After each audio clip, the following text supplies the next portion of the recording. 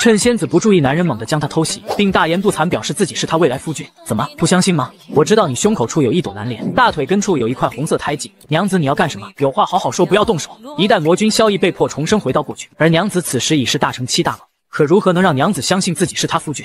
就在刚刚，宁静的村落遭遇妖兽袭击，一位玉骨冰肌的白衣仙子现身，顷刻间斩灭众妖。无限忧伤，难难道一个普通村落竟会遭此劫难？真是可怜了这些凡人。下一秒，仙子却是一惊，只见倒地的男人猛地睁开双眼，我居然没死。寒烟，是你救了我吗？爱死你了！妹子无比反感，你怎么知道我的名字？赶快放手，我又不认识你。娘子，我知道你很生气，但我不是故意丢下你去和别人同归于尽的。以后咱们好好过日子，争取年底生个娃。而妹子终于忍耐到了极限，恐怖的冰莲绽放，将老六击飞。柳寒烟，你谋杀亲夫吗？萧逸这才发现自己如今已无半分法力。就在这时，一名青年满是关怀之色：“萧逸，你没事吧？快给人家仙子道歉。”仙子莫怪，我兄弟因为萧家村被毁，受了刺激才胡言乱语。萧家村不是很多年前就没了吗？看着还是少年模样的叶九，萧逸此刻才知晓这是回到了过去，而后脑海浮现出之前最后的景象。韩嫣故作坚强，仍止不住泪水决堤。答应我，夫君一定要平安归来。放心吧，娘子一定不会丢下你的。而后又现出自己与林青言的生死搏斗，直至最终到达生命尽头，自己与其同归于尽的画面。不知过了多久，一座于天际翱翔的巨舟之上，噩梦中的萧逸猛然惊醒，清脆的声音传来：“你可算醒了。”侍女表示：“跟我来，我们店主要见你。”敢问仙子，这里是？侍女答道：“此乃去往问天中的飞梭。”萧逸暗想：果然如此，我真的回到了过去。这正是柳寒烟当年救下年幼的自己那个节点。虽然后来成功把他拿下，但在这个时候他还不认识我。根据上一世的经验。此刻若不做点改变，随即会被送到外门当杂役弟子，马上迎来乱世。时间紧迫，不容自己再慢慢修炼了。思索间，那无比熟悉的声音传来，拥有绝世容貌的娘子正皱起眉头，怒视自己。正是问天宗广寒仙子柳寒烟。她是修仙界最为瞩目的女修，世间不知多少男子对她一见倾心，却从无一人能扰乱其道心半分。甚至多少年来，连她的真名都极少有人知晓。因此，妹子此刻冷冷问道：“你是从何处得知我的名字？”寒烟啊，我知道这件事说出来有点匪夷所思。之所以知道你的名字，因为我是你的夫君啊。却见寒霜浮于妹子脸上，再给你一次说实话的机会。完了完了，以前他每次炸毛的时候就是这样的反应。既然如此，那本人要动真格的。你最喜欢的水果是香蕉，你最害怕狗子，因为做凡人的时候被狗咬过。还有你的乳名叫嫣嫣，那是你爹花一两银子找算命先生请。老六说到口吐白沫，却没留意妹子杀意渐盛，下一刻脖梗便被灵力掐住，浮于半空。对我调查这么细致，想必你必是魔教派来的卧底。说是谁指派你来的？听到有人硬说是自己的转世老公，突如其来的冒犯让仙子无从招架。而随着萧逸道出妹子前面大灯与大腿处的私密，柳寒烟瞬间炸毛。对我调查如此细致，你必是魔教派来的卧底。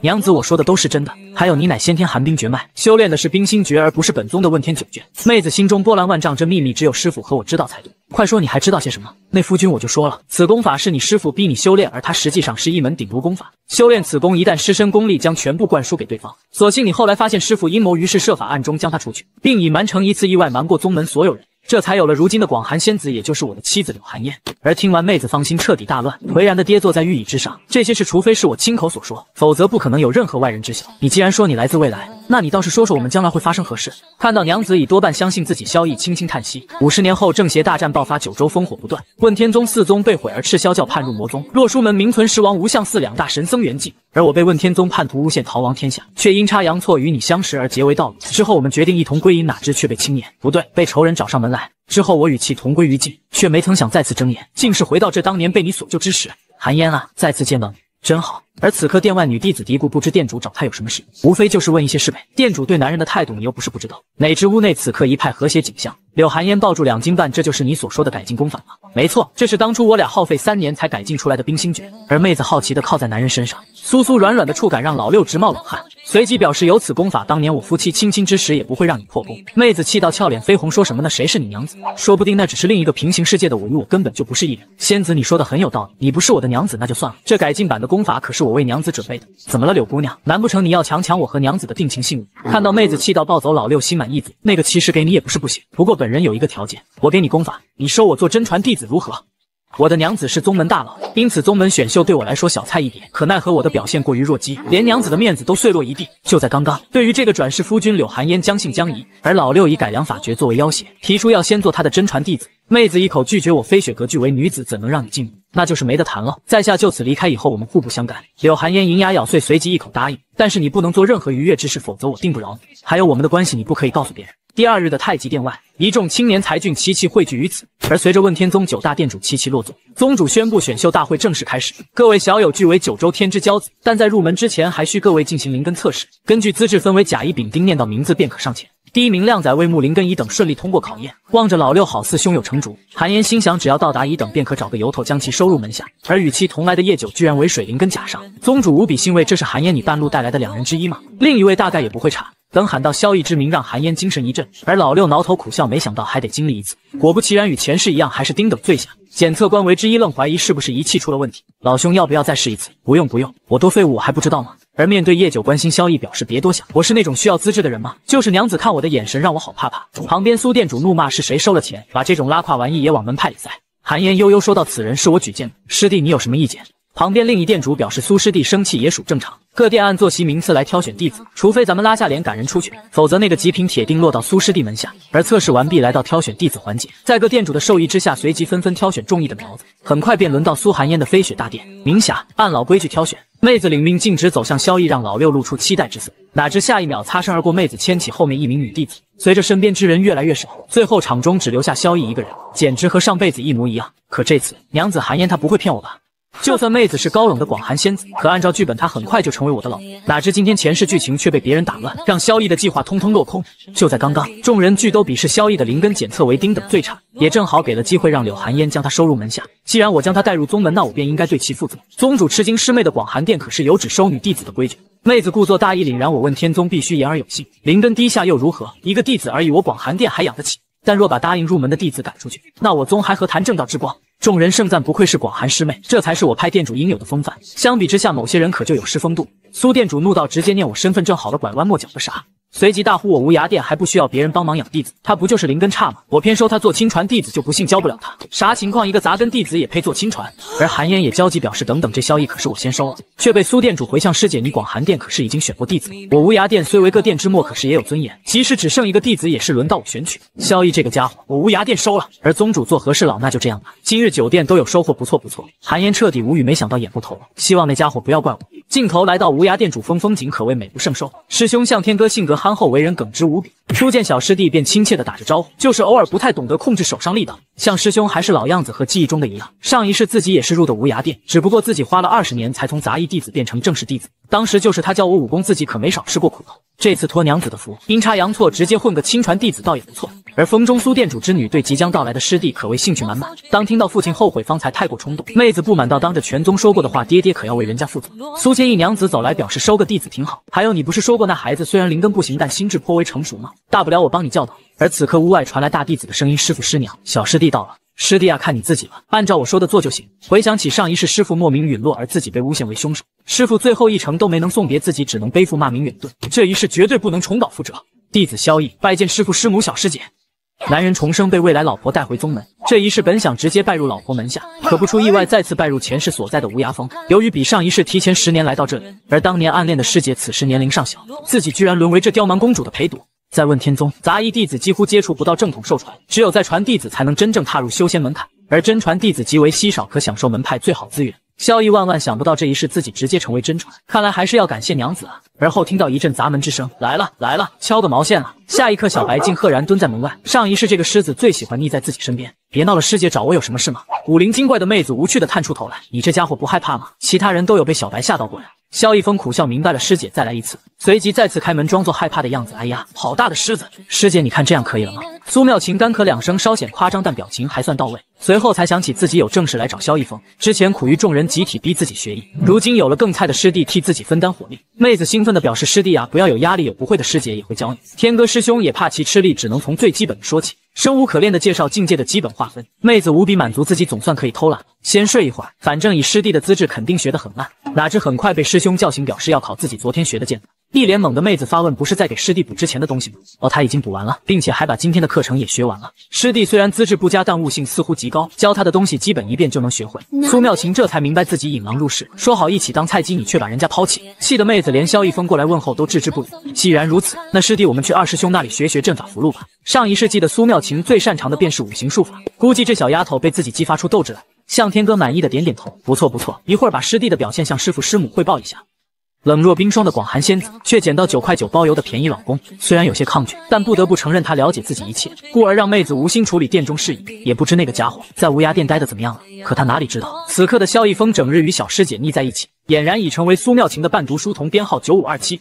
本以为师弟更菜能替自己分担火力，可萧逸仰仗前世加持，很快习得剑法并超越自己。说好一起躺平，你却给我内卷。走走走，就不信阵法符箓你还能比我强。二师兄的灵虚大殿之中，妙琴强忍困意不能睡。我可是师姐。老道夸赞妙琴表现不错，可萧师弟似乎看上去有些疑惑。萧逸起身提出自己疑问，随即让老道大为震惊。想不到师弟虽小，却在阵法之道有如此天赋。妙琴啊，以后有什么不会多向你师弟请教。半之而来又要安慰一番失意的妹子，想自己前世好歹也是魔尊，学这些初级课程简直浪费时间。而见了鬼的妹子又出现在演武大殿，师弟莫怕，四师姐负责实战课程，可她还是很淑女的。呵呵，这里看的不是悟性，而是实打实的修为。我看你还怎么卷？哪知四师姐表示没空，一口将两人拒绝。此言正中萧逸下怀，自己练气还没开始，脑子进了水，才要和元婴期大佬打实战。师姐告辞。苏妙琴仍不死心，等等的，师弟先别走。左脚一不留神绊到右脚，下一刻一百八十斤顺势扑到萧逸怀中，顺带将摆放整齐的桌椅砸到起飞。感受怀中温存，老六正准备问妹子有没有事，周身空气骤然变冷，让两人大感不妙。刚刚你俩说想上实战课对吧？没有没有，师姐您忙，就当我们没说。而居右山猛地向旁边甩出一拳，彻底将两人的退路封住。你们不要怕，我是你们的师姐，又不是什么恶魔呀。我重生后去寻找前世妻子柳寒烟，可奈何她总是将我拒之千里之外。毕竟她如今已是芳华绝代的广寒女仙，而前世暗恋的妙琴师姐如今年龄尚小，因此萧逸峰对她少了几分情愫，而更多的是将其当妹妹看待。就在刚刚，两人来到无涯殿的后山密林，发觉被圈养的疾风妖狼被偷袭并取走妖丹，看着咬痕是一击必杀，看来对方必定高出其几个境界。而妙琴瞬间来了兴致，召唤小白循着味道去寻找赵氏妖兽。师弟别怕，厉害的妖兽早被爹娘清理，剩下的我都搞定，快快跟上。小白好像发现了什么不对劲，小。小白居然变回了原形，而随着白色巨狮一声怒吼，空地之中赫然有着更多的疾风狼狮，不禁让妙琴陷入恍惚，一时间竟没察觉身后蛇尾向自己扫来。萧逸峰大喊：“师姐小心！”拦起妙琴，堪堪躲过致命一击。而两人还没来得及松一口气，却听小白一声痛吼，瞬间被砸飞出去。妹子心痛的瞪大双眼，而小白已纹丝不动，不知死活。这妖兽不仅强大，居然还有隐形能力，应该是在我们头上。果不其然，半空现出血盆大口，腥臭的绿色光球在其口中凝聚，并瞬间吐向两人。妙琴虽惊不乱，大呼找死，镇定的凝聚法力，下一刻便祭出数道幻剑，五匹剑芒于虚空斩向光球，发出巨大爆裂之声。哪知浓郁毒气将两人包围，妙琴头晕脑胀，小风啊，我不行了，师姐不能睡。待毒烟散尽，才见通体墨色的巨蟒盘于面前，看样子没将两人放在眼中，因此不再隐匿身形。师姐先下手为强，没问题。师弟看我的厉害！妙琴掐动法诀，唤出雷狱剑阵，巨大光剑按不同方位插于地表。看到妖兽被剑网困住，并发出痛苦嘶嚎，妹子不禁长舒一口气，回过头来傲娇的表示：“师弟看我我厉害！”哪知看到的却是萧逸峰凝重转为焦急的表情。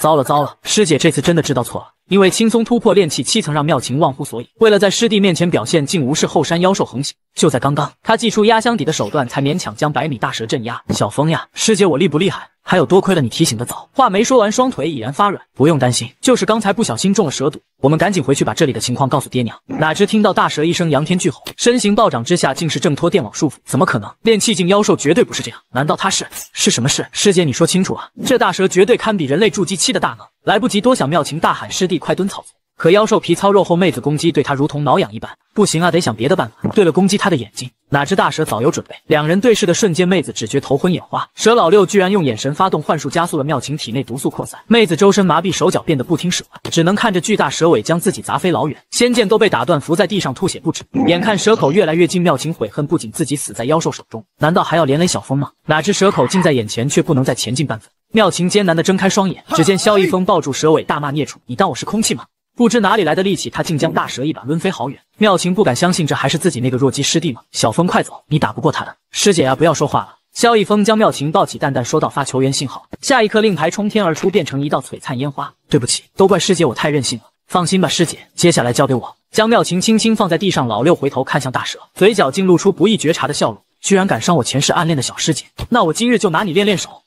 我的娘子表面上对我漠不关心，实际上却是在意到不行。不仅化身侍女舍身试探我的忠诚，就连修炼之时都想我想到失神。奇怪呀，正是关键时刻，为何我有些心慌？要不要去看看那家伙？好几年不见，不知道他有没有一些长进。可听说他在无涯殿深受师傅师母宠爱，不仅顿顿四凉四热八个硬菜，就连两人的女儿都对他异常热情。算了，我只是去看看，我现在已经不欠他的了。而就在去往无涯峰的路上，柳寒烟却发觉前面的广生道人。广生师兄，请留步！看你的方向是要去无涯峰，难道发生了什么事？而师兄表示，无涯峰主刚刚传信于我，他那新收的弟子身受重伤，让我前去医治。不就是那个灵根一塌糊涂的萧逸峰吗？话音刚落，柳寒烟便在其眼前消失。看着妹子那飞驰的背影，广生只觉不可思议。这么多年，从没见过广寒仙子如此失态。而就在刚刚，因为苏妙琴的任性，两人陷入巨蛇的埋伏。萧逸峰舍身挡在师姐面前，因为境界差得太远，而让他手臂都被震断。可即便就此陨落，他也决心保护这前世暗恋的师姐。面对大蛇再次发动攻击，他硬起头皮冲了上去，一脚踢中大。蛇七寸巨大的蛇头瞬间甩飞出去，不错不错，再试试这个。凝聚他剩余所有灵力的手指如利器一般插入蛇身，而大蛇吃痛，随即奋力一甩，将萧逸峰拍飞八十米远。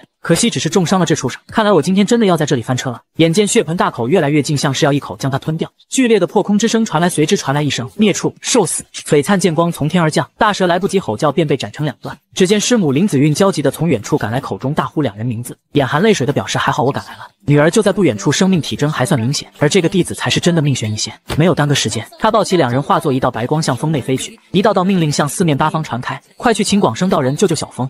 仙子刚刚接受我是她的前世夫君，而我却为救别的女人全身筋骨寸断。就在刚刚，师母将受伤的两人带回无涯峰中。苏妙琴伤势还好，只是受了蛇毒。八师兄表示过两天妙琴便可恢复，可听说苏师弟那边情况却不容乐观。说话间，大师兄便带来消息，苏师弟他伤势太重，师傅师母一起出手也堪堪让他吊着一口气。不行，我要去后山找那些妖兽来为小峰出气。下一刻，一道铭文将屋门封住。四师姐冷哼：“这个时候你还要添乱吗？”胆小的八师姐已然眼含泪水，师兄还是冷静一点，冷静个啥？难道就在这里干等着什么都不做吗？而就在这时，屋外现出两道虚影，正是匆匆赶来的柳寒烟二人。广生累到气喘吁吁，抱怨师妹啊，有必要飞这么快吗？柳寒烟懒得理会他，随即将目光扫向周围，没有询问妙琴伤势，而是直接问萧逸峰在哪里。向天哥回到小师弟正在大殿，话没说完，面前只剩两道虚影。那个啥，师傅他们貌似没请柳店主过来啊。无涯殿中，师母用尽全力将萧逸峰的气息延续，小峰的心脉已然越来越弱，这可如何是好？说话间，广生二人匆匆赶赶到。韩烟看到眼前景象，脸上瞬间浮起寒霜，一把推起广生，快看看怎么治！让老六一阵抱怨：有你们这么使唤人的吗？而随着他一阵仔细端详，随即大眼瞪起小眼。韩烟急道：情况怎么样？你倒是说呀！实不相瞒，此子经脉尽损，伤势实在严重，医治办法是有的，可强行挽回一个天赋平平的弟子，并不是明智之举啊！听清老六言外之意，柳寒烟毫不迟疑：需要多少药材我来出。师傅听完不满，这是我的徒儿，要多少天才地宝我有的是。韩烟厉声说道：你既然知道自己是他师傅，为什么还能让他伤成这样？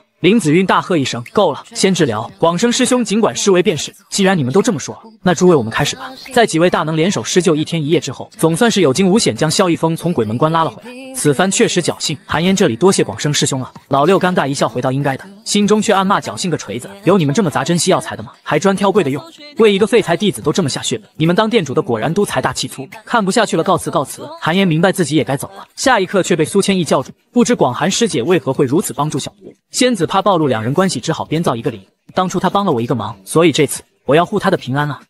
为了英雄救美，我差点生死道消，最后凭师母帮我延续气息，还有前世娘子为我付出大量天材地宝，我才保住小命。而神经大条的师傅都能看出我与广寒仙子的关系有些微妙。就在刚刚，耗费药材之多，将神医气到瞪眼。萧逸峰伤势趋于平稳，可依然处于昏迷状态。下一刻，他来到尸海中一片幽暗空间，正是上一世他走火入魔杀尽同门师兄之时。而当时的景象随即在眼前浮现。八师兄临死之时，不甘地问道：“小峰，你这是为何？”他却不知道萧逸峰早已被莫天青残魂侵扰，因此被迫与其混乱共生。在半人半魔的手起刀落之下，最后一名师兄也在师傅之后被其斩杀。而伴随虚空响起数道惊雷，问天宗数位长老已然尽数出动。萧逸峰，你疯了吗？不仅残杀同门，还害我苏师弟！片刻清醒下，男人大喊：“没有，我没有伤害师傅。”而长老那边已然使出合计，还敢狡辩？你体内有如此庞大的魔气，今日我等便清理门户。身体被刺激下，魔魂又占据主动，就凭你们几个想清理我？这些都是我做的，又如何？你们今天一个也别想走！一众长老瞬间暴怒，拿下他，不论死活！而今天剑阵眼看便要成型，却让魔头趁机逃脱。问天宗就这么点本事吗？有胆的话，你们随我来啊！看到这前世景象，萧逸峰眉头不禁紧锁。从中其圈套，直至被其扰乱神识，自己不仅陷入癫狂，还莫名背上实施罪名。莫天青这魔头与前世的自己纠缠半生，共生的两人都对对方恨之入骨。我绝不会原谅你这个家伙。哪知下一刻，妙琴可怜巴巴，你真的不原谅我吗？小峰，你终于醒了。师姐知道错了，要不你狠狠揍我一顿吧。而侍女小月听闻动静赶来，院中随即传出尖叫：少爷醒过来了。那个师姐，我睡了多久？没多久，只是睡了十天。什么？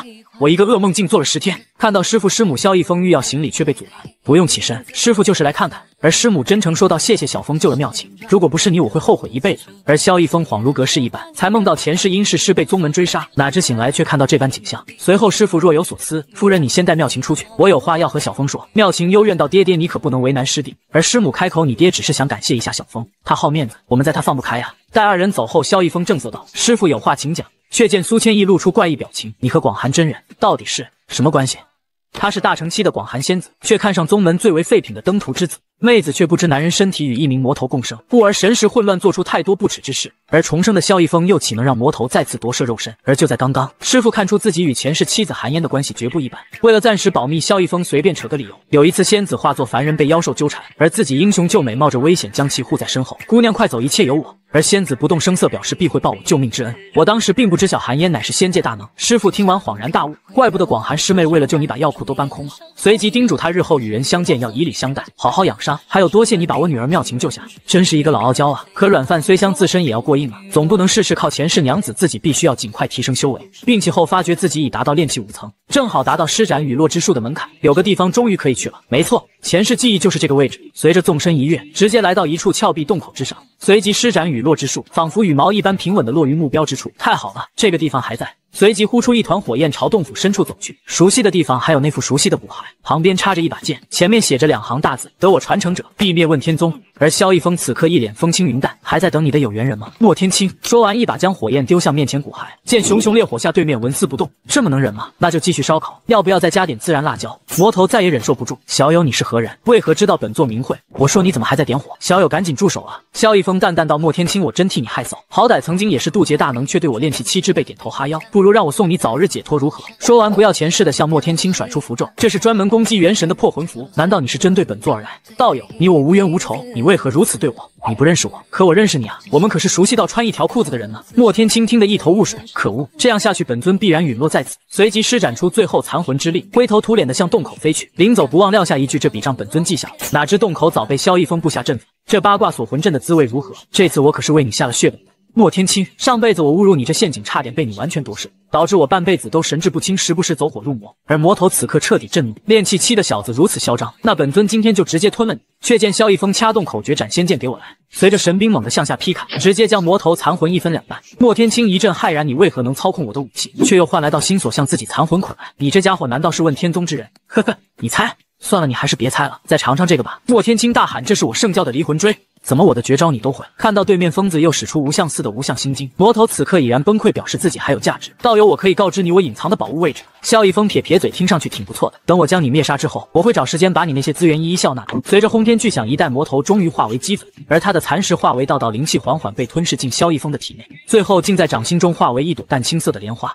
她本是修仙界最强女修，却因身体秘密被男人逐个点破，而不得不接受男人正式转世未来夫君。可作为广寒仙子，这夫君未免太过弱鸡，故而妹子不远千里来到拍卖会为他找寻防身法器。而偏僻的冰原极地传闻仙子到来，顷刻间便引来众多男修围观。压轴宝物是一枚盘龙护身玉佩。此物乃是一位渡劫期前辈为后辈炼制，无需灵力便可发挥三次元阴气护体之力。而听闻需要五百灵石，台下则议论纷纷。此物太过鸡肋，高手用不着，给小辈用又太过奢侈，脑子进水才买。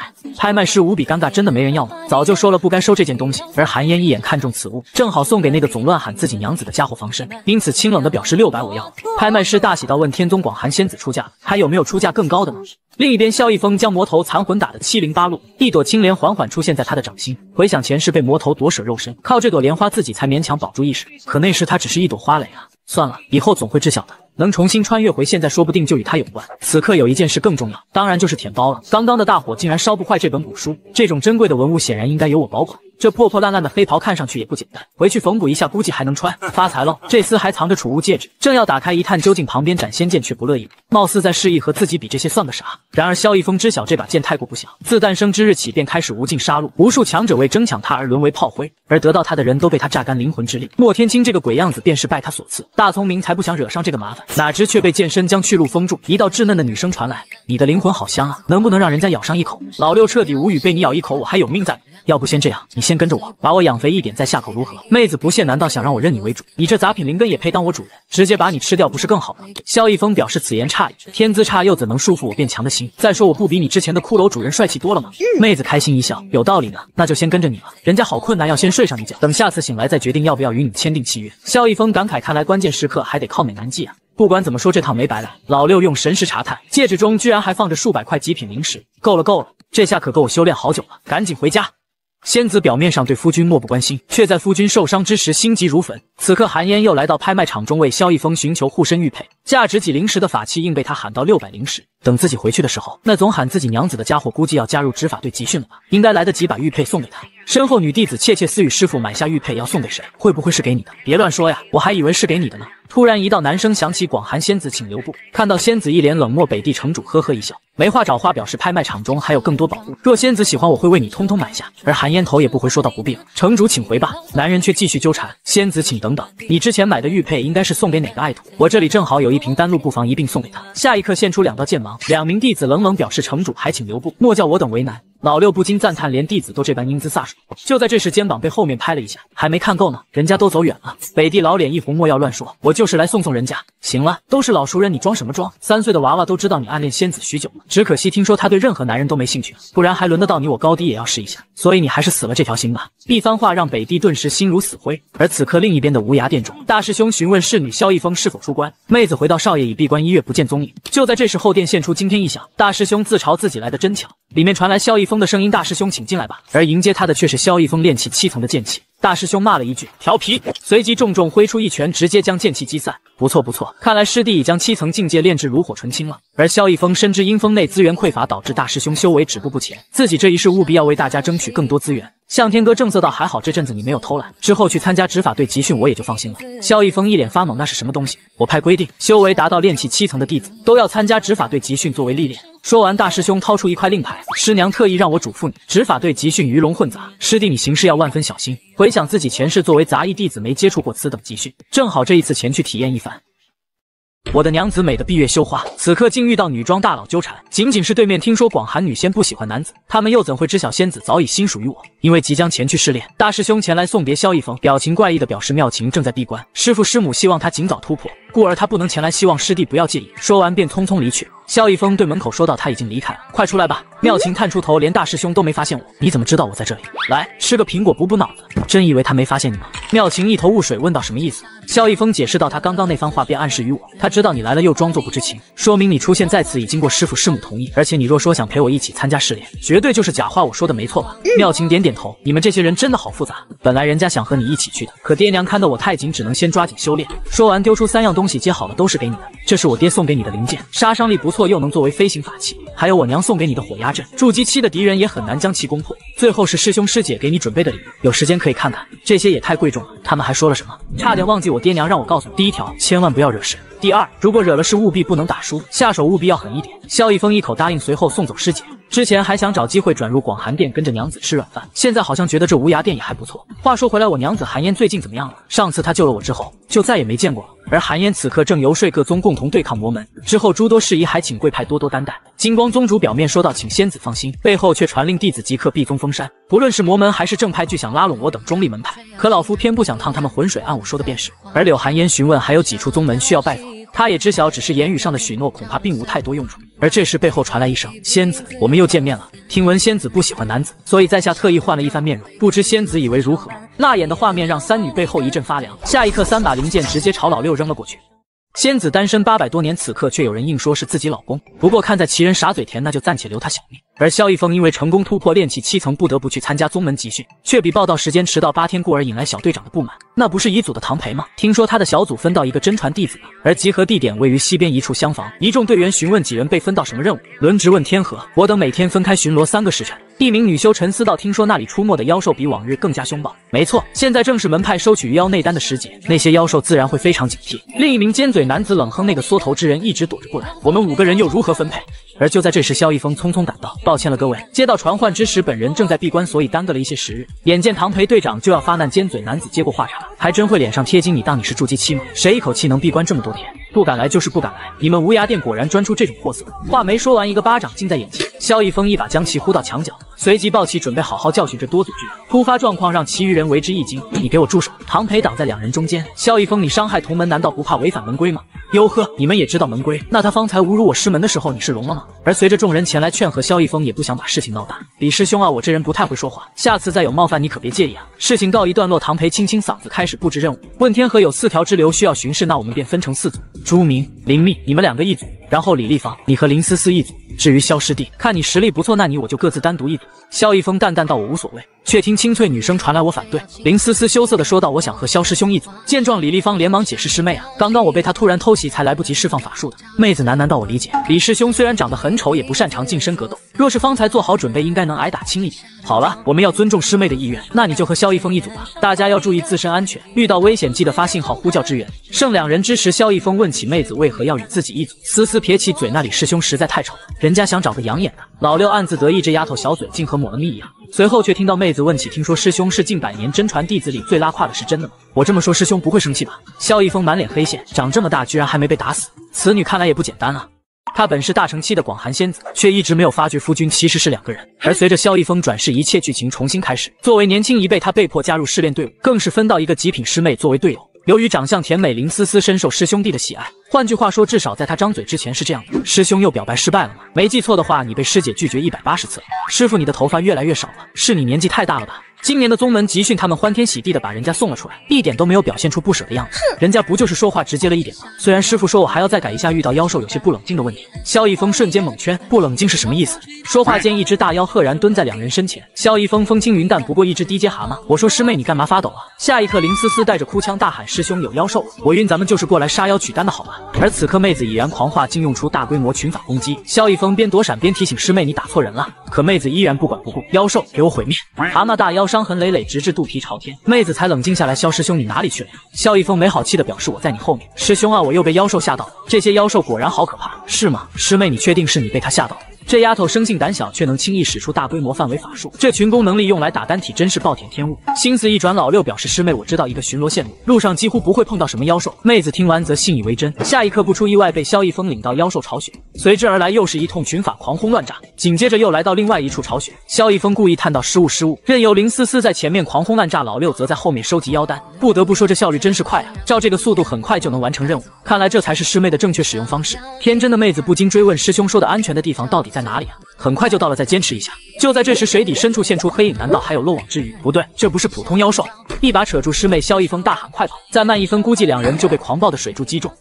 仙子单身八百多年，此刻却有人硬说是自己老公。而为了获取仙子芳心，男人主动接受宗门试炼，一番骚操作后，成功带领师妹成为妖兽腹中甜点。就在刚刚，萧逸峰忽悠思思师妹群法放大，对鱼妖狂轰乱炸。眼见小弟被欺负，鱼妖老祖现出真身，庞大的身躯让两人大眼瞪起小眼。居然是问天河水中霸主天罗恶，还是个筑基期。这家伙到底吞过多少修士？不敢与其缠斗，两人准备开溜。可很显然，大妖并不想放过嘴边的肥肉。萧逸峰一把推开思思师妹，别管我，你先走。伴随一声巨响，萧萧逸峰暂时脱身。还好师兄师姐给的宝物足够多，拿一堆符箓才把这水龙卷给炸开。哪知大妖又将思思控制，真是个麻烦啊！而随着萧逸峰折返，两人终于成功被天罗鳄吞进腹中。大妖也满意的潜入海底。而等妹子再次醒来，发现周身一片漆黑。你终于醒了。如你所见，我们现在正在鳄鱼胃中。而周围这些则是他的胃酸。现在最主要的是师妹，你要不要先换套衣服？林思思这才发觉青山已被腐蚀，根本没剩下几块布料。还好有萧逸峰递来长衫，暂且将身体盖住。师妹莫要害怕，我已经传信救援，这个阵法也能保护我们不受胃酸侵蚀。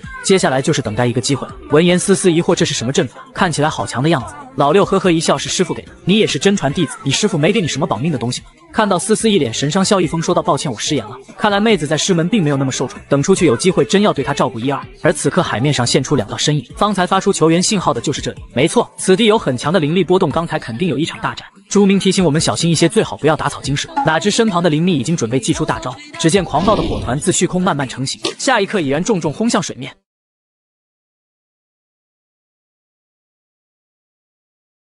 糟了糟了！为了救林思思，两个菜鸟被筑基期大妖一口吞进肚中。萧逸风此刻只能安慰思思，一切会有转机。通过交谈得知，妹子也并非表面那样受宠。而其他队员循着气息赶来，号称宗门小辣椒的林立师姐确定大概位置，甩手便是一个火球。天罗巨鳄骂骂咧咧，随即浮出水面。妖兽腹中，两人瞬间感受到强烈震感，估计是援兵赶到了。是师姐与师兄他们吗？大概是。就是这动静是不是有点大？林师妹，你靠过来，这妖兽貌似被激怒了。朱明抱怨林丽是不是太过冒失？妹子嘲笑道：“你作为男人，胆子也太小了吧。”话没说完，发觉对面居然是筑基期的妖兽，而随着腹中传来锤击声音，巨鳄瞬间吃痛到仰面朝天。听到肚皮中传出的呼喊，两人听出是萧逸峰的声音。只听他说道：“我与师妹还好，只是这家伙皮太厚了，需要你们创造机会，我们才能脱身。我会在他体内施法来协助你们。”说完，在妖兽腹中发出全力一击，趁机会师姐两人很快凝聚法力，两团能量瞬间轰向天罗鳄。可很明显，妖兽并没把攻击放在眼中，甚至还向两人甩来尾巴，却被两柄仙剑将其生生阻拦。原来是队长和李立方闻到动静赶来。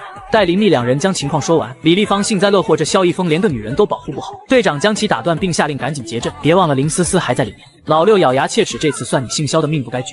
随着队长指挥，几人飞向四方，并各就各位。林密战少英方位，朱明你在少阳听令，李立方你负责太阴那边。最后队长喊话萧逸峰，你听好了，你有什么办法脱困，最好就趁现在。而萧逸峰感知几人已摆出四象阵法，心中一阵暗喜，回头说道：“师妹，我需要借用一下你的灵力。”林思思不解：“我是水性灵根，而师兄你用的是火系法术。”很好，很好，我要的就是这个。他们几人用出的正是四象阵法的杀法之阵，而你我各属水火，本不相容，可一旦遇到一起，那就是……话没说完。天罗鳄庞大的身躯已然被轰到四分五裂。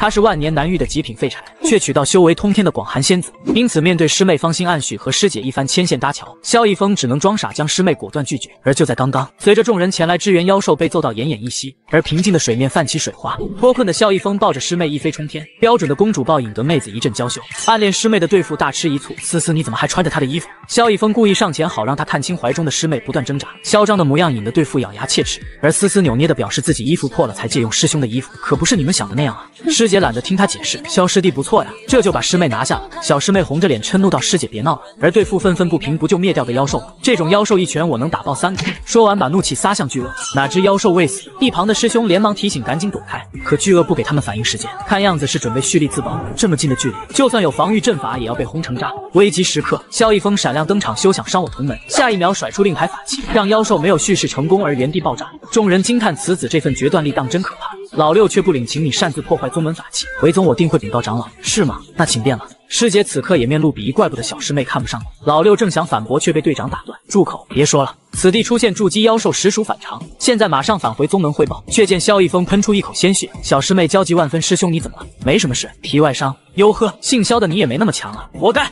而萧逸峰表面风轻云淡，手中剑灵标志却现出妖异之色。镜头转向执法堂外，众人站在门前，想为萧逸峰立正清白。小师妹本想闯入，却被师姐拦下。放心吧，长老们都有脑子，有谁会像眼前这种家伙如此小心眼？说话间，萧逸峰已然走向屋外。大师兄表示师弟深得长老赏识，不仅没有责难，还大力称赞一番。萧逸峰故作谦虚，都是长老眼睛雪亮，没有听信鼠辈谗言。众人皆大欢喜，师姐随即邀他小聚，并直言师妹也会去哦。思思一脸期待，却见萧逸峰直接祭出飞剑，我有急事处理，有机会再见。随即消失的无影无踪。大师姐气鼓鼓，他真是个木头，多好的机会都抓不住。思思一脸落寞，难难道或许师兄真的有事？下一刻，在无人之处，萧逸峰吐出一口鲜血，刚刚差点闯祸。原来刚才斩仙剑忍不住劈掉贼眉鼠眼的对付，萧逸峰只能以自身精血将其安抚，并警告剑灵收起魔门那套作风。妹子嘲笑你们正派真是虚伪，还有你很可口，可惜太弱，实在不行直接把你榨干，你岂不死的痛快？萧逸峰说道。冒昧的家伙，难道你要杀鸡取卵？不过我倒是有个好玩的想法。而等说出签订契约四个字，却被剑灵拒绝。你想得美，曾经那些老魔头都不够我喝，而你更没戏。听我说完行吗？我可以称你为主，做你的奴仆。什么时候想吃我了，我便任你采撷。再说我一个练气期能有什么坏心思？我只是想找个靠山抱大腿。傲娇的剑灵终于打消疑虑，那事不宜迟，我们开始吧。随着法咒运转，符文遍布剑灵周身。剑灵表明，签订之后你必须听从我的意念，否则必会被符文反噬而生不如死。还有，你就算后悔，现在也已经来不及了。而萧逸风暗喜等的就是这一刻，想我前世堂堂七杀魔君，苦心经营的计划终于开始了。他是大成期的广寒仙子，却看上宗门最为废品的登徒之子。然而事与愿违，萧逸风不仅三年没有达到筑基，就连宗门试炼都遭到众师兄的排挤。就在刚刚，萧逸风被分到最混乱的南街值守，众商贩油盐不进，曾让前任弟子苦不堪言。而男主作为前世魔君，此刻将其轻松拿捏，不仅宣布所有税收减免一半，并承诺交易自由，所有货物均可买卖。谁影响大家发财，我就让他去见太奶。听完，一众商贩欢呼雀跃，就连派来搅局的拆台兄弟都不敢多言。而当晚便迎来怀揣货物不能出手的卖主。听说南街没有一个好人，正好我来碰碰运气。肩膀却猛地被人一拍，麻袋劈头盖脸套了起来。你们干什么？信不信劳资？信不信小弟跪在地上求你们？正座上萧逸峰开口，你身上的货多少钱？我收。五百，要不四百，不行就三百，算了，反正来路不正，小弟白送，只求饶命。五百零食一颗，不少验一下。随着老六感激涕零，萧一峰说道：“你道上兄弟说一说，有不好出手的，只管过来找我，到时候就说找南街峰哥，通通安排。”老六忙不迭点头，自己人脉很好，一定给您带到。大哥您忙，大哥再见。几天后，道上的朋友果然闻讯赶来。老金说的就是这里，可看着就一个小破摊了。随后走到萧逸峰面前，喊道：“天空说慢，视频稀烂。嗯，是暗号没错。还有，我们是来找南街峰哥的。”萧逸峰应了一声，随即甩出符箓，默念一声开门。随着光芒，大圣仓库现出真容，其间无数奇珍，让几人叹为观止。时间一个月后的城中花楼之中，李管事无比惬意，倾听底下汇报进展。问天宗其他弟子皆已完成试炼，只有南街乱得一塌糊涂。最近还接到举报，有人在那边卖来路不明的货物。李立方大喜道：“感谢二叔，这次那家伙是铁定完不成试炼。”两人人恨不得马上看到萧逸峰的好戏。而迎接验收队伍的果然是一派混乱。队长唐培怒骂：“怎么比凡人的菜市场还要不堪？”而小师妹则是满面担忧：“这里的负责人呢？萧逸峰，快给我出来！”哟呵，我当是谁？原来是唐队长和李管事来了。两方人马随即拉开架势。萧逸峰一脸风轻云淡：“各位来我南街，想要买点啥？”师姐刚刚还苦恼一加一到底等于几，下一刻却要为我强势出头。可是这丫头下手是真黑，真到了对面麻烦可就大了。自从魔君萧逸峰转世重生，不光要让娘子相信自己是他夫君，面对曾经的师门也让他无比头疼。前世师父师母待自己如同己出，师姐安妙琴也对自己颇为照顾。而前世自己走火入魔，对师门痛下杀手。随着师父死在自己剑下，师母也带着安妙琴紧随而去。这一世又怎能让悲剧重新上演？自己务必要护最爱之人周全，因为一切从头再来，总会遇到一些反派。明明分给自己最混乱的街区，而管事却前来找事。姓萧的，这就是你管理的秩序？咋地，不服吗？我正召集摊主准备开会，有什么问题？那为何我听说这里混乱无比，不仅交税不足，还有一些不合规矩的东西流通？而你身为监管，为何不进行处理？看师兄被针对，丝丝露出无限担忧之色。李管事，我听不懂你在说什么。各位做过不合规矩的交易吗？绝对没有，我们可都是乖宝宝啊！你看他们都说没有，小心我告你污蔑哦！见状，管事气急败坏，竟然和三教九流混在一起，简直丢修仙之人脸面。却听人群中飘来一句：“关你毛线？是谁在背后后说坏话？”而一柄飞剑袭来，直击老六面门。慌乱间，他祭出防护，才堪堪将剑气阻。万万没想到，有人敢在自己地盘撒野。下一刻，明眸皓齿的少女从人群缓缓走出。萧逸风苦笑：妙琴师姐竟一直跟着自己。而妙琴身居简出一向不穿弟子服，因此没人认出。作为路人，我看不惯你们欺负帅哥，才会打抱不平。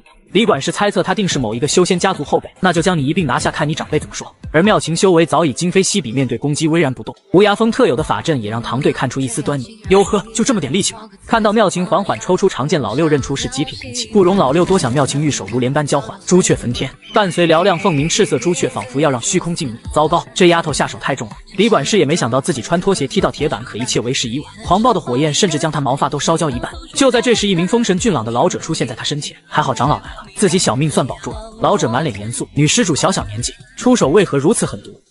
师姐刚刚还苦恼一加一到底等于几，下一刻却要为我强势出头。可是这丫头下手是真黑，真到了对面麻烦可就大了。自从魔君萧逸风转世重生，不光要让娘子相信自己是他夫君，面对曾经的师门也让他无比头疼。前世师父师母待自己如同己出，师姐安妙琴也对自己颇为照顾。而前世自己走火入魔，对师门痛下杀手。随着师父死在自己剑下，师母也带着安妙琴紧随而去。这一世又怎能让悲剧重新上演？自己务必要护最爱之人周全，因为一切从头再来，总会遇到一些反派。明明分给自己最混乱的街区，而管事却前来找事。姓萧的，这就是你管理的秩序？咋地，不服吗？我正召集摊主准备开会，有什么问题？那为何我听说这里混乱无比，不仅交税不足，还有一些不合规矩的东西流通？而你身为监管，为何不进行处理？看师兄被针对死，丝丝露出无限担忧之色。李管事，我听不懂你在说什么。各位做过不合规矩的交易吗？绝对没有，我们可都是乖宝宝啊！你看他们都说没有，小心我告你污蔑哦！见状，管事气急败坏，竟然和三教九流混在一起，简直丢修仙之人脸面。却听人群中飘来一句：“关你毛线？是谁在背后说坏话？”而一柄飞剑袭来，直击老六面门。慌乱间，他祭出防护，才堪堪将剑气阻。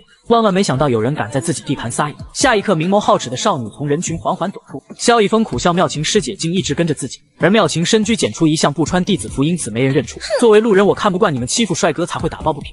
李管事猜测他定是某一个修仙家族后辈，那就将你一并拿下，看你长辈怎么说。而妙琴修为早已今非昔比，面对攻击巍然不动。无涯峰特有的法阵也让唐队看出一丝端倪。哟呵，就这么点力气吗？看到妙琴缓缓抽出长剑，老六认出是极品兵器，不容老六多想。妙琴玉手如莲般交换，朱雀焚天，伴随嘹亮凤鸣，赤色朱雀仿佛要让虚空静谧。糟糕，这丫头下手太重了。李管事也没想到自己穿拖鞋踢到铁板，可一切为时已晚。狂暴的火焰甚至将他毛发都烧焦一半。就在这时，一名风神俊朗的老者出现在他身前，还好长老来了，自己小命算保住了。老者满脸严肃，女施主小小年纪，出手为何如此狠毒？本是孤高冷傲的绝情仙子，却被废柴上下其手，并声称自己是他夫君。而仙子不仅不怒，还为他准备一件定情信物，甚至无视流言，屡次解救他于危难之中。而宗门试炼中，由于太过碍眼，萧逸风被管事分到最烂任务。我的师弟岂容你们欺负？妙清师姐看不过瘾，随即对李管事大打出手。而等其宗门长老现身，管事又支棱起来。这丫头忽然出手伤人，长老您可要为我做主？连个女娃都打不过，还有脸逼逼叨叨，真是一个显眼包。因为暂时不知妙清身份，长老不敢轻举妄动。小女娃伤我门人，我劝你老老实实回我青山宗受罚。萧逸风。反问你有何资格罚我？问天宗弟子。说完不再理会，问道：师姐你怎么来？妙琴抱起两斤半，人家刚刚突破筑基，想来看看你。谁曾想，居然有人欺负我的帅师弟。一旁长老心思急转，如此年轻就达到筑基，这女娃难道是问天宗哪位高门后人？可就算其家长找来，也是我派战礼，毕竟他伤人在先，到时候做个顺水人情，还可以要点好处。想到此，长老故作大义凛然：我两宗素来交好，你就更不该出手伤人。此事我必须要向你师门要个交代。萧逸风望向妙琴，我师姐刚才出手确实中了一笔。您说的对，我承认我们错了。李管事无比得意，这么快就认怂了。思思则是露出失望之色。等等，我还没说完呢。看在你的面子上，你派弟子为难我的事，我也不追究。正好扯平。长老被当场打脸，竟敢捉弄于我，真是敬酒不吃吃罚酒。随即爆出惊天气势。见状，妙琴准备摇人叫他爹娘过来，哪知身体却难以再动弹分毫。长老也大喊：你们用了什么妖法，居然将我定住？下一刻，青天白日，竟忽然雪花飞舞。除了萧逸风，其余众人俱是被定成木桩。长老反应过来，不知是哪位前辈降临，还请现身。却听清灵女声响起：“你方才说要替谁教训他？”芊芊玉足仿佛不沾人间凡尘，来人正是广寒仙子柳寒烟。长老心中慌的一批，被吓得呼吸都要困难。我近日需要一些特殊材料，故而让萧逸风帮我留意一番。不知他违背了哪条规矩，还请长老说来让我听听。而在仙子面前，长老顿觉自己如蝼蚁一般。柳前辈说笑了，萧公子所为不仅合理合规，而且是我等学习楷模理应得到表扬。而寒烟不再理会，并让萧逸风伸出手来，这是我为你求得的护身玉佩，记得带好。既然你说他做得好。那接下来如何处理，你自己看着办。说完，曼妙的身形与众人面前消散，只留下一帮人大眼瞪起小眼。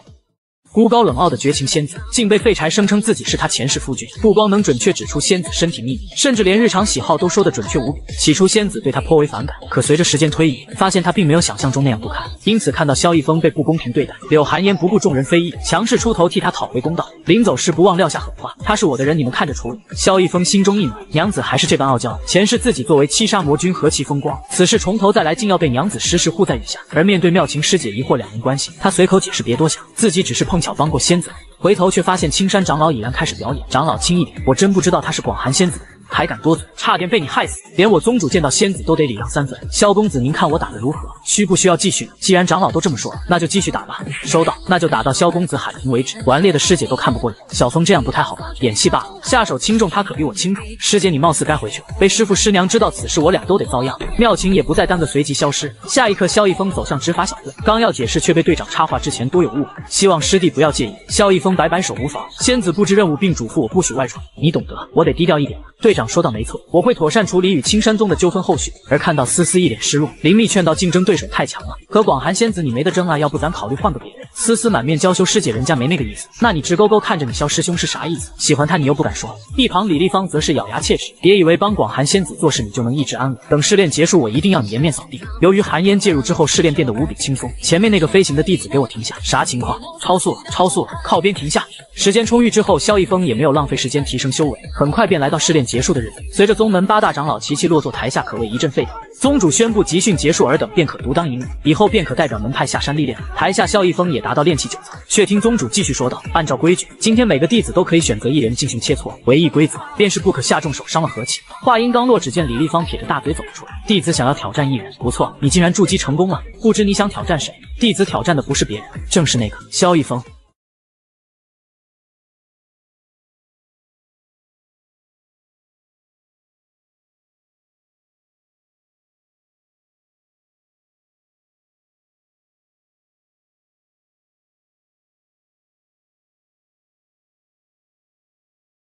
男人只用一个眼神，便使得广寒仙子心花怒放，以致取出珍藏多年的神珠作为赌注。以自己单身五百年的毒辣眼光，眼前这个男人必定不会让自己失望。而一年一度的宗门大会当中，大聪明点名要挑战萧逸风，师尊听完当场大怒：筑基期弟子挑战我炼气期的徒弟，你也好意思说出口？宗主看热闹不嫌事大，师弟怎么还急眼了呢？再说你徒弟可以拒绝。下一刻却听萧逸风表示接受挑战，这位弟子此话当真？没错，弟子也想体会一下与高阶对手的差别，还要多谢李师兄给我这个机会。师尊大怒，你四不四散？宗主摇摇头，年纪虽小，倒是挺自不量力。却见柳寒烟微微一笑，我倒是挺看好他的。说话间，自怀中取出宝珠，我愿用此上品灵器与宗主对赌萧逸风赢。宗主眼前一亮，认出那是冰魄珠，希望广寒师妹莫要反悔。这是我花费数月炼制的灭境符，他若赢了便归你。寒烟淡淡道：“那我等拭目以待吧。”而裁判宣布，除了不可下死手，其余自由发挥。李立方明显胸有成竹，放心，我保证不打死他。姓萧的不是擅长近战，那我开场便与他拉开距离，毕竟远攻术法才是我的强项。而萧逸风明显懒得看他一眼，下一刻随着剑身插进地面，巨大的红色剑阵瞬间在场中成型。天空说慢，不对，说错了，天诛剑阵，听我号令，去吧！只见赤色剑雨连绵不绝，哪知李立方狂喜真是个极品，居然用这一招，随即用左掌拍向地面，升起一道巨大的土墙护在身前。宗主暗自思量，天诛剑气为炼气期所能用最强剑法，威力虽强，可损耗极大，即便是筑基期弟子，其灵力也不过只能支撑数息。看来此招过后，萧逸风必败。师妹，你那颗冰魄珠可以递过来。仙子表示结果还没出，急什么？而场中李立方继续猥琐发育，开场便丢大招，我看你的内力还能支撑多久？等此招结束，看我怎么收拾你！李师兄是不是得意的太早了？这只是热场，接下来希望师兄还能继续撑下去。你这话什么意思？下一刻，随着萧逸风出手，剑雨的频率竟越来越快，其灵力仿佛取之不尽，用之不竭。宗主一脸震惊，此子不一般。而在剑雨的狂轰滥炸之下，土墙眼看就要崩塌。为了让我在仙子面前出丑，大聪明点名要与我生死决斗，而我明显懒得看他一眼。天诛剑气。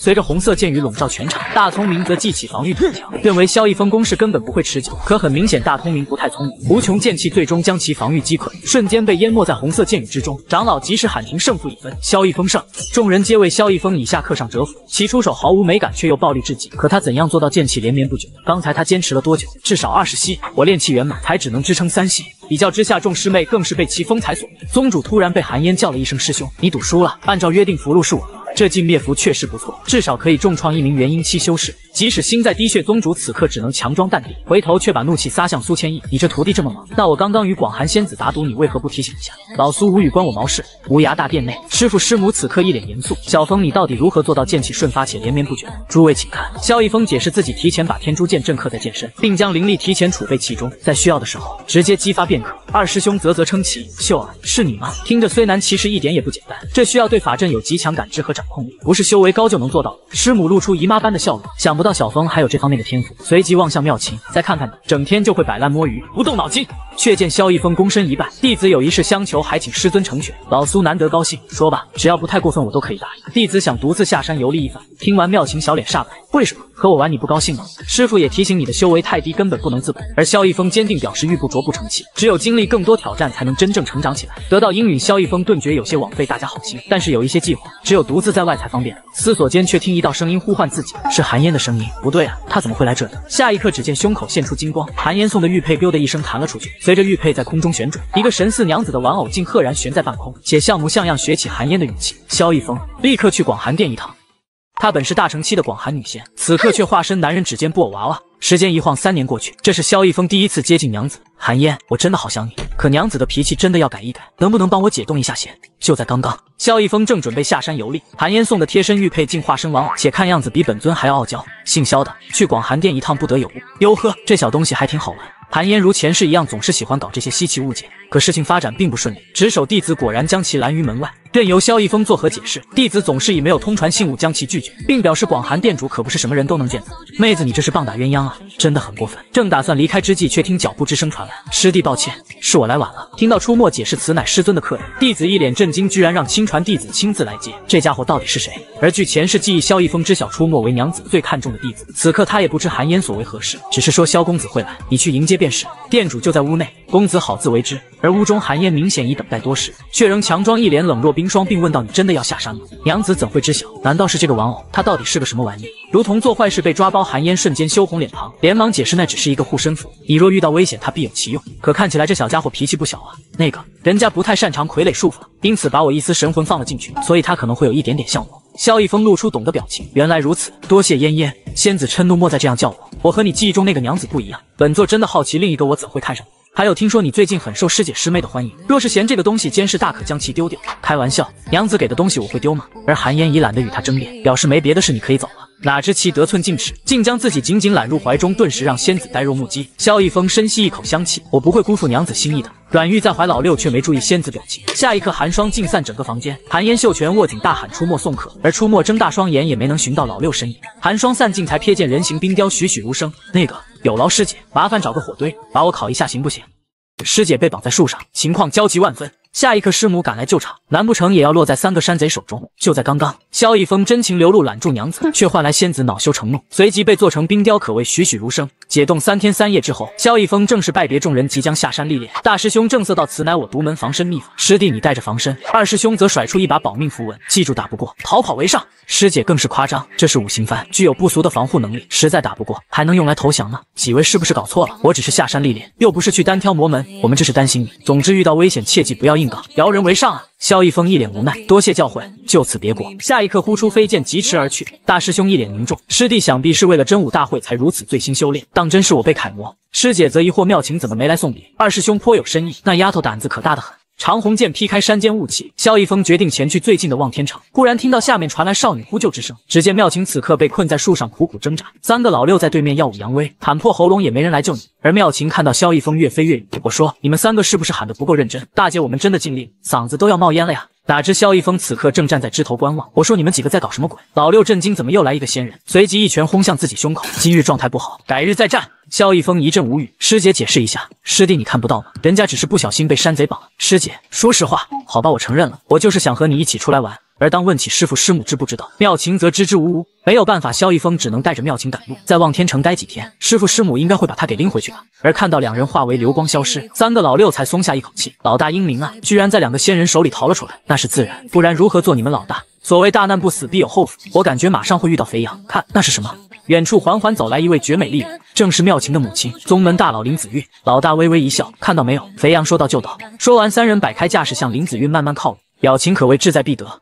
少女修仙八十年，第一次来到凡间，摆个糖果，竟随手掏出绝品灵石。看到胸口碎大石，她无比兴奋，把石头搬开，你们直接砸我便是。就在刚刚，萧逸风拜别娘子，前往望天城，哪知师姐妙琴已然先行一步，并抓了几名山贼陪自己上演一出苦肉计。萧逸风无奈。只能答应这离家出走的师姐与自己同行。望天城乃是方圆百里最繁华的城池，而碰巧今日又是每年一度的元宵灯会，因此城中人来人往，热闹至极。为避免引起骚动，两人步行来到这里。妙琴顷刻间被这里的繁华所吸引。师姐一次没来过吗？没有。原来俗世竟这般有趣。而妹子果然没有说谎。当面对小贩极力推销自家产的香包，妙琴表示来一个，并毫不犹豫掏出一块灵石。萧逸峰见状，赶忙将其拦住，并掏出几个铜板。一块灵石能买下这整条街，师姐咱就不能低调一点吗？却见妙琴注意力又被什么吸引。小峰，咱们快过去看看。人群。中一把大锤落下，江湖卖艺者正表演胸口碎大石，感谢各位捧场，一锤八两银子，有谁想试试？下一刻，一只玉手扬起，我来。大汉无语，这锤子姑娘举动呢？那个我不砸你，我躺在这里让你砸我，请放心，砸我长得可结实了。身后众人议论纷纷，而萧逸峰硬起头皮，各位抱歉，家妹她从小脑子不太好使，直到被拉走，妙琴还在嘟囔，我真能扛住。我知道你能扛住，可我不想赔人家大锤被砸烂的钱。师姐你是修仙者，参与凡人的活动会吓坏他们。妙琴则表示是自己太激动，毕竟人家第一次来。小峰，我其实很羡慕你。从记事起，我便一直在宗门长大，爹娘从来不让我来人间，我只能听师兄师姐给我讲外面的故事，你知道吗？我这次是偷跑出来的。见萧逸峰无动于衷，妙琴笑道：“果然又没骗过你，但很开心你能带我出来玩。这次有我来保护你还好，可小峰你记住以后出门在外要注意安全。”却听身后一道女声传来：“自己都没多大本事，竟大言不惭要保护别人。”听完两人俱是一惊，只见一位绝代丽人款款走来，师母似笑非笑，表示：“我女儿长大，都知道离家出走了呢。”下一刻，紫色光照将三人拢在其中，妙琴被吓到腿软。这是隔音结界吗？娘亲，你这是要干什么？师母摩拳擦掌，表示没事，怕你哭的声音太大，吵到别人多冒昧啊。废柴弟子只是下山游历，却引得如烟大帝化身娃娃贴身守护。娘子莫生气，她是妙琴师姐，你认识的。因为宗门长女偷偷随自己下山，闭月羞花的师娘此刻大发雷霆，哭的声音别太大，吵到别人不礼貌。而此刻城中依然喧闹，众人都觉得今年爆竹动静有点大，估计是质量好吧。不远处，慈爱的母亲还在与可爱的女儿交流感情，炸裂的场面让萧逸峰大为观止，直呼这女儿绝对是亲生的。看来真的是往死里打呀！那个师娘要不歇一歇，就算您不累，手中的棍子也受不了啊！听完师娘说了一声有道理，随即喊喊了一声苏妙琴，母亲大人，女儿收到。师母淡淡道：“你可知错？”看到妙琴垂头丧气，师母又问道：“你知道私自下山的后果吗？”妙琴如同小鸡啄米，按规矩面壁思过一年。师母冷哼一声：“哪有那么简单？什么？那要多少年？”听好了，你这次的惩罚是跟着萧逸峰一同历练，他不回来，你也不许回来。听完，妙琴大脑一阵发懵，难道我的女儿有意见？妙琴依然没转过弯，只能点头答应。师母回头询问萧逸峰能否照顾妙琴，师母放心，我会将师姐照顾好的。行了，有你这句话，我便放心了。说完，林子韵没有停留，化作一道流光，瞬间消失于虚空。眼见克星已走，妙琴忘乎所以，抱起萧逸风大喊：“太好了，可以和你一起玩了！”哪知两人中间现出一道屏障，差点将妙琴原地掀翻。只见如烟大地化神的玩偶气鼓鼓的浮在半空。萧逸风赶忙解释：“娘子别误会，这是我的师姐，你认识的。”直到嗓子说的冒烟，玩偶才消下起来，化作流光钻回原处。师姐莫怕，这不过一个法宝，小名叫做傲娇。天色已晚，先找个客栈歇脚，却没注意身后虚空现出两道身形。只听二师兄范愁师娘做此决定，又如何向师傅交代？林子韵表示无妨，在我这里他不敢多言。之前确实对妙琴管教太过严苛。如今让他见见世面也好，只是这俩货的修为确实不高，你知道我的意思吧？二师兄瞬间领会，徒儿会在暗中保护他们的。临走，师娘不忘叮嘱，切记不要被他们发现。我办事，师娘放心。而他们哪里知道，萧逸风早已发现他们。小风啊，你在看什么？没什么，只是两只飞鸟罢了。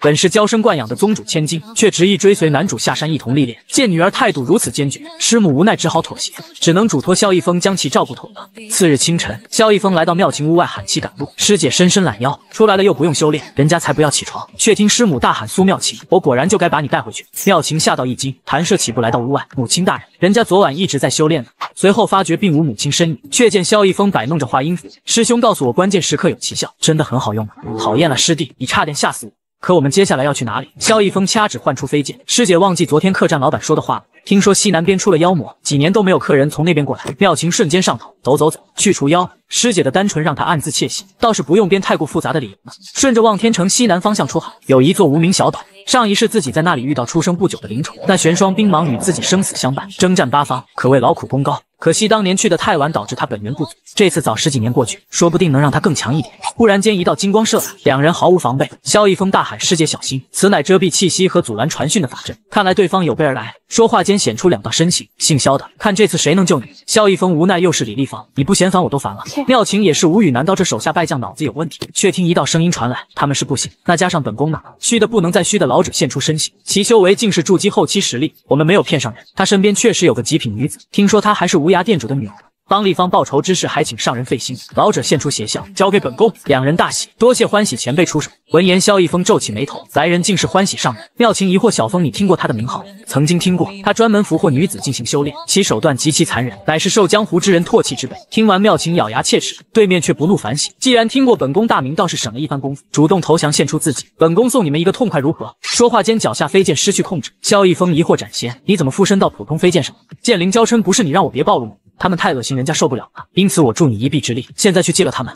宗门废柴下山历练，承蒙师母信任，萧逸风一口答应会护好宗门千金周全。哪知两人行至罕无人烟之地，却被别有用心之人将去路阻拦。而为首者正是令江湖人无比唾弃的欢喜上人。得知妖人不耻恶行，师姐扶住胸口，忍不住爆出粗口，但还是提醒师弟，这筑基后期远不是我们所能面对。李立方则小人得知姓萧的，你之前与我处处作对，不就是仰仗有广寒仙子撑腰和你师父师母照拂吗？这次看你还怎么得意？而斩仙剑灵已答应暗中配合。萧逸风胸有成竹，我倒想看看这筑基妖妖人有多厉害。师姐大惊，小风不要冲动。妖人则说道：“不知死活。”随即射出金光，一张红色巨网瞬间照向萧逸风，任由灵剑劈砍，依然牢不可破。妙琴喊道：“小风莫怕，我来帮你。”却被数道剑气封住去路。正待唤出雷震之时，李管家已然悄然近身，师姐毫无防备下，硬生生接下一拳。我知道你这丫头术法很强，不过我叔侄二人又怎会给你出手的机会？那边姓萧的已被上人完全制服，小丫头也乖乖放弃抵抗吧。另一边欢喜妖人大放厥词，以炼气期修为挑战本宫，勇气可嘉。不过太自信，在修。行路上是走不远的，说的有道理。不过貌似是说你自己吧，斩仙，你可以出手了。有斩仙附灵的一斩，可谓气势如虹。妖人眼神变得发直，这是什么剑？没看清吗？那就再来一次。看清了，你手中之剑有问题。说完，妖人族李立方大骇：“二叔不好了！”上人记了。二叔扭过头，你在说啥？却见一只火凤轰向他的胸口。妙琴嗔怒：“和我打架，你还看别的地方？”李管家周身腾起熊熊火焰，大喊：“侄子救我！二叔你要撑住，侄子回家先收个衣服。”李师兄要去哪里？萧逸风现出身形，身后妙琴也问到：“你方才说要对我做什么？”来着，老六大惊，你们敢违反门规吗？规定可是不能伤害同门的。下一刻，透心的凉爽将老六定在半空。妙琴师姐撇起小嘴，真是个聒噪的家伙。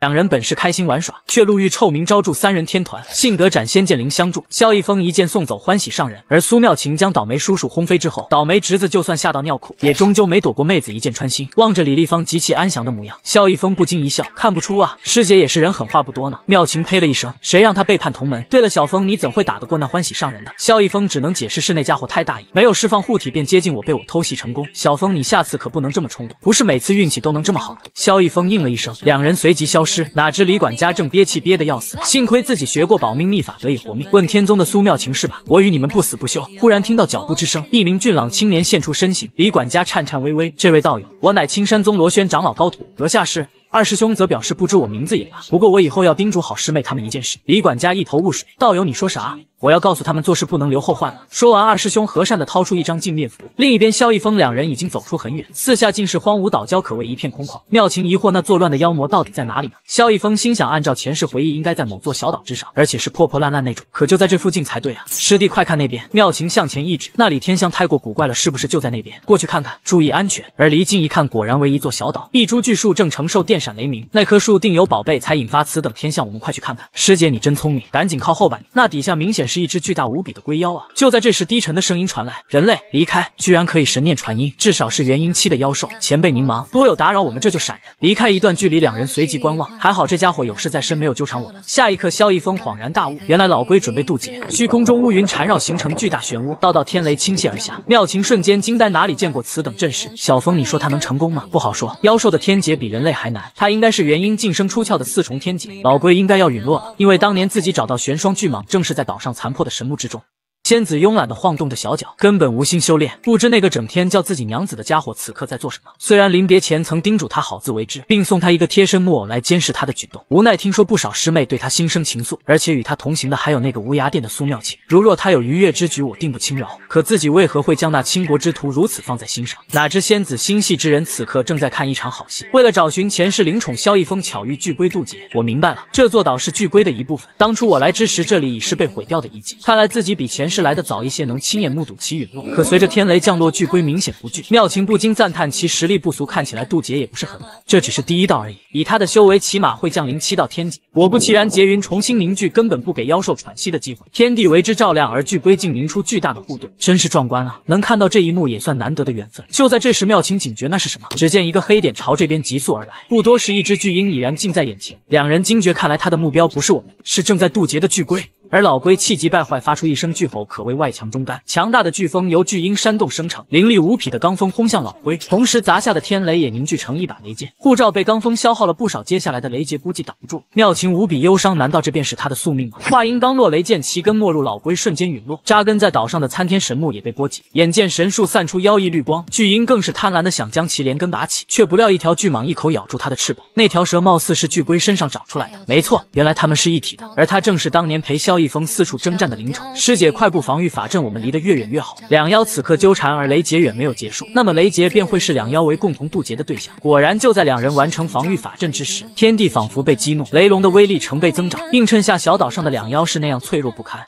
仙子将元神化为木偶，男人不解，随即又露出懂的表情。而关键时刻，木偶救场，萧逸峰才知晓娘子良苦用心。就在刚刚，前世灵宠渡劫遭元婴七巨鹰偷袭，玄霜冰蟒不惧，将其一口咬住。一蛇一鹰一同望向虚空，只见雷劫化为天龙，瞬间砸向两兽，无上威压仿佛贯穿天地。见状，萧逸峰二人全力记起防护，离这么远也有如此威力。妙琴此刻彻底体会到天劫的含义，他们是不是都陨落了？话音刚落，现出一道白影，立明下巨鹰掠向虚空，片刻不敢停留。萧逸峰担心灵。宠安危，师姐，我们过去看看。战场此刻一片狼藉，神树必是不凡，可惜已经被毁了，真的很可惜。而巨蟒气息微弱，灵气肉眼可见的消散，他伤的太严重，撑不了太久的。萧逸峰却心思流转，前世想着灵宠一直陪自己南北征战，可貌似长得有些不一样了。不管那么多，先救活再说。说完，将其扛起。此蛇与我有缘，或许可以想办法救他一下。妙琴无语，看他打场架也算有名吗？可你又怎么救他？萧逸峰指向神树，看样子这应该能帮到他。说完，将手按在树干之上，顿时感受到浓郁的木系灵气，随即以身躯作为连接，晶莹的绿光缓缓输入巨蛇体内。妙琴大喜，小峰真聪明，看来真的有用了。这棵树作为巨龟身体阵眼，蕴含海量灵气，即使被毁，也足以让灵石恢。恢复不少，只可惜妙琴是火属性，不然萧逸风也会让他吸收一点。就在这时，一道惊雷让两人一受吓了一跳，散去的雷云竟重新凝聚。师姐，快离开这里，天劫还没有结束。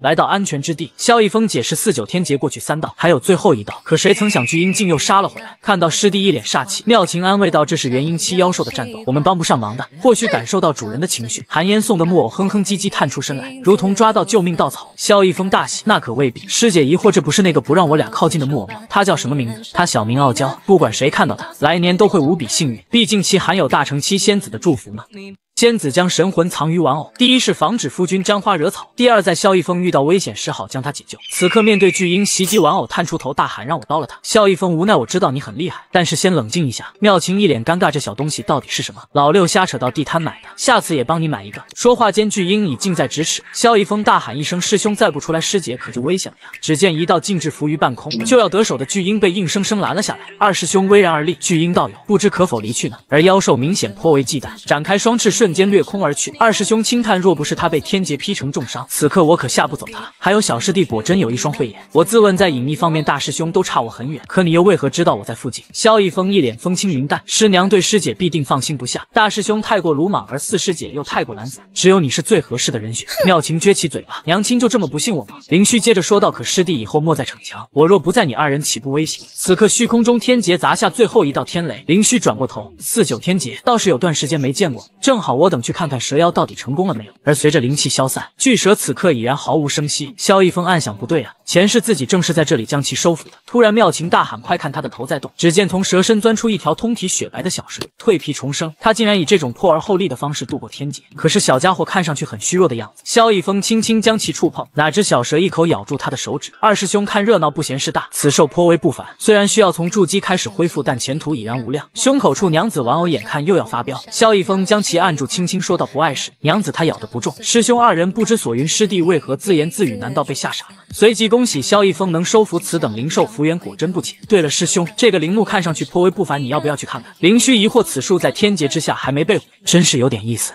尽管师娘林子韵开始颇为抗拒，最后也屈服下来，答应萧逸峰带女儿试炼，并叮嘱二师兄务必护好师弟师妹的周全。可二师兄此刻看到神木，瞬间将师母的嘱托忘到九霄云外，这居然是稀有的神木根。萧逸峰疑惑：难道这木头还有救吗？没错，这等天才地宝本身就有极强的生命力，但需要尽快找到一个灵池将其修复。妙琴插话道：“记得门派里有一个灵池啊。”二师兄皱起眉头：“可从这里回宗，就算是我也需要三天一个来回。那这段时间谁来保护你们？”却见两人将胸口拍得砰砰作响。师兄尽管回去，我二人在此等候，绝不会乱跑。如此甚好，我三日后便回来找你们。说完，二师兄化作流光消失。男女老六对视一眼，瞬间明白对方的意思，忙不迭化为流光朝反方向离去。我还以为小峰你会老老实实听二师兄的话，开什么玩笑？有他跟着我们还历练个鸡毛？师姐记得隐匿气息，这次要彻底把二师兄甩掉。三日后，海域中一列舰队出现，正前方为一艘颇有气势的巨船，悬挂的正是天龙国的标志。船头有一名修为不凡的老者禀报太子，前方便是渊海国的海域了。青年却表示道长切勿再如此叫我，天智早已不是太子。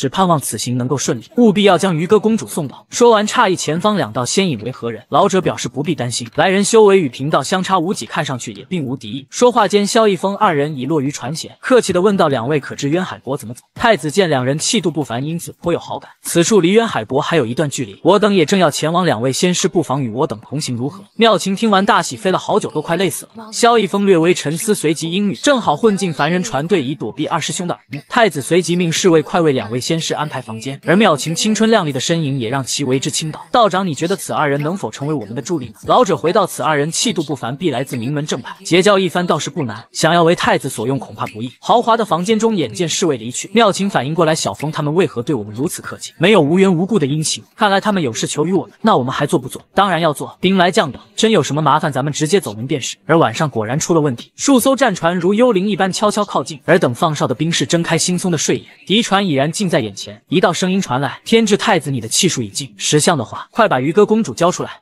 仙子叮嘱夫君在外莫要多事。可萧逸峰抵挡不住妙琴师姐撒娇，终是上了被废太子之船，从而惹来麻烦。就在刚刚，面对太子盛情款待，萧逸峰知晓天下哪有免费的晚餐？不过既来之则安之，兵来将挡，水来土掩。果不其然，晚上海平面出现大量战船，看样子明显有备而来。等卫兵睁开惺忪睡眼，敌船已近在眼前。押船老者中气十足，对面是哪些朋友？可知我等乃天龙皇家船队。